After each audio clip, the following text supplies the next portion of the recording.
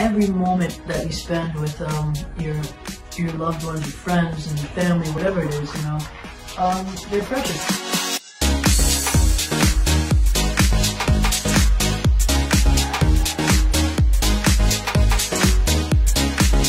I think of it as a flow.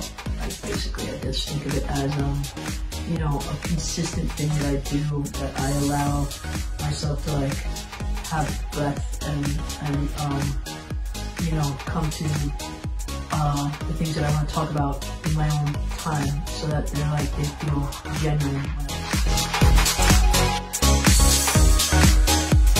I mean, my voice, for one, like you know, most artists, it's like a, it's like their voice is the the joining factor. But I also think that you know there's like an element of endemic, dr- dramatic romanticism that I'm I'm kind of I think known for.